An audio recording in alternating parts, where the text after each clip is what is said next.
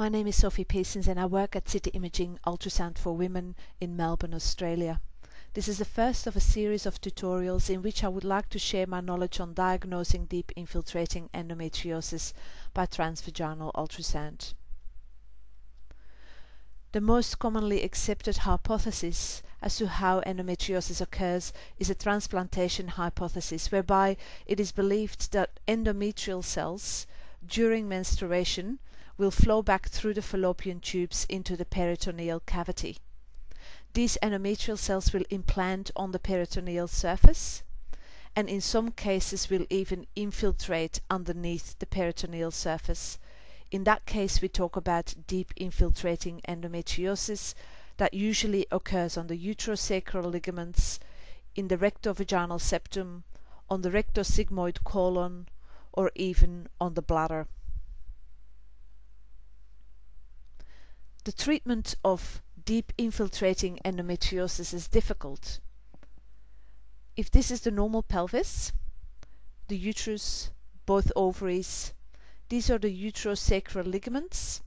They sort of define an area which is known as the pouch of Douglas, and this is the bowel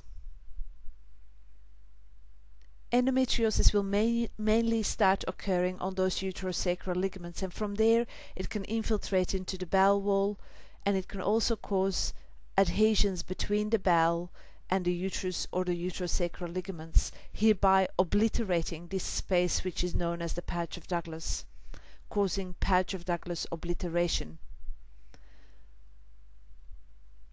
This is a situation where this has happened you still recognize a little bit of uterus, you recognize the ovary, but the rest of the anatomy is completely distorted because this normal pouch of Douglas and uterosacral ligaments cannot be recognized. There are significant adhesions whereby the bowel is completely stuck to the uterus.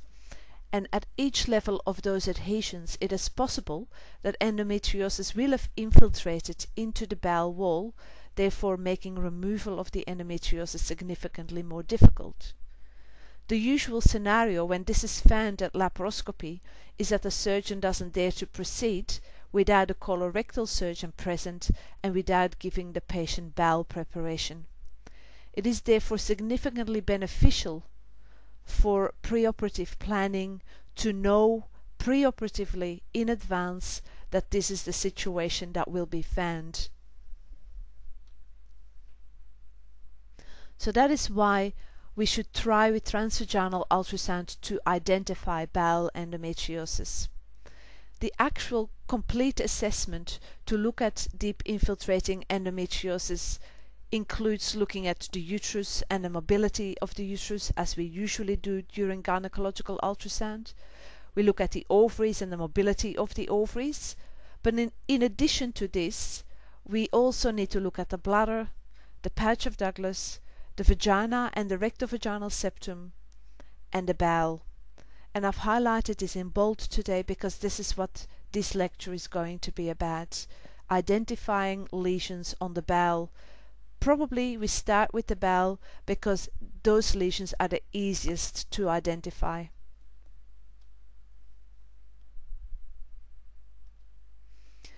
To look at the bowel, we need to look in an area where we usually don't look.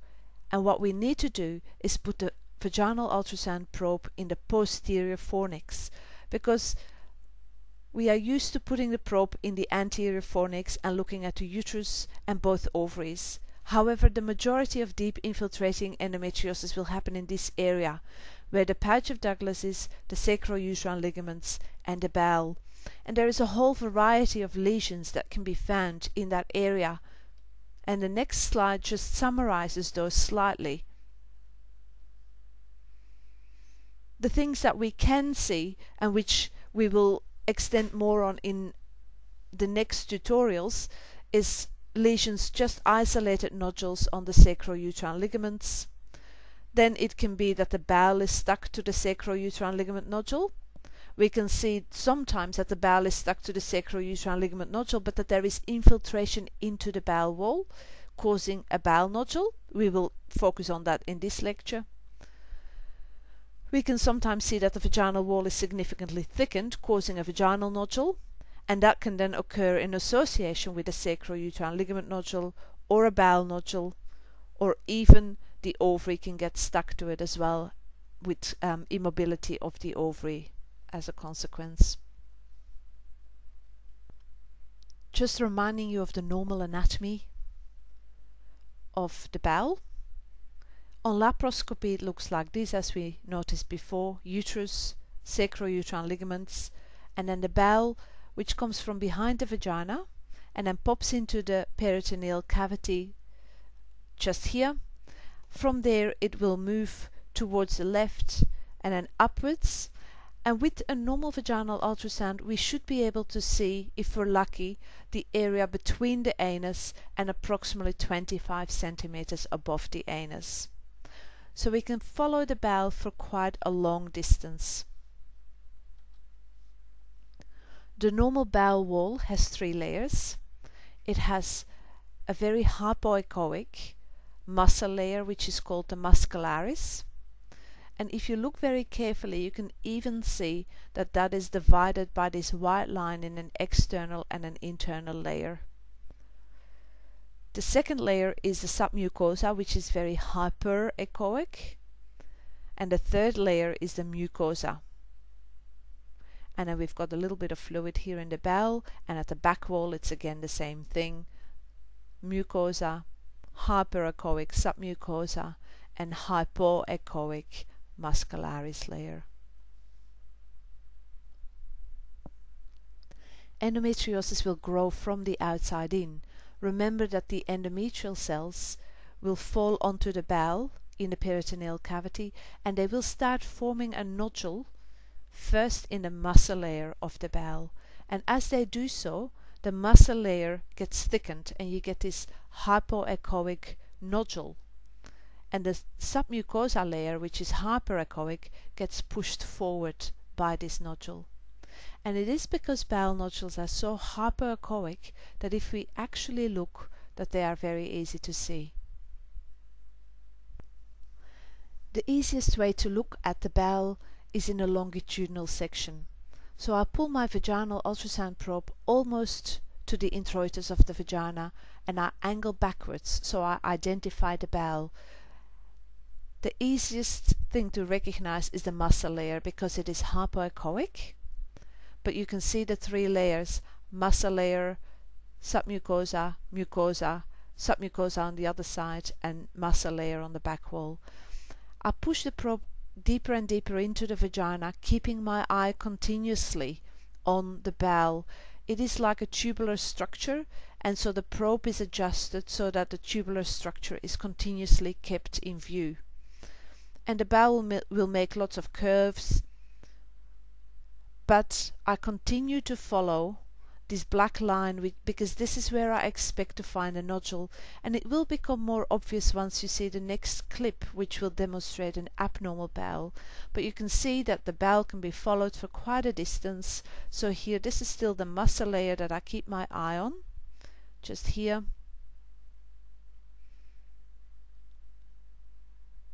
and while I'm following this tubular structure I move my probe slightly to the left and to the right so that I continuously um, check the whole front wall of the bowel. And when you look at the next slide, it will become much more obvious what I mean with an abnormality. So you keep your eye on the black wall, on the black line, and there immediately it is very, very obvious the bowel is stuck to the posterior vagina, but there is a very eye-catching hypoechoic nodule visible on the bowel. This is a bowel nodule caused by endometriosis and this is the submucosa that is pushed forward by this bowel nodule.